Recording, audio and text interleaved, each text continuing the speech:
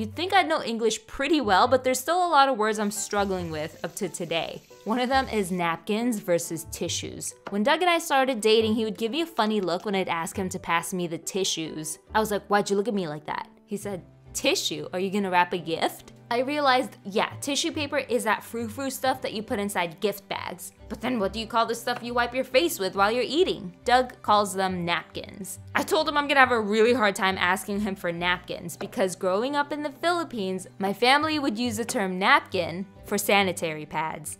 I kept calling them tissues, he kept making a face, so one day I finally said, fine, I'll call them napkins. Nowadays, I have to think for a second to make sure I'm asking for the right thing. If I ever ask you to hand over the napkins though, my brain still goes to sanitary pads and I'm over here secretly giggling to myself.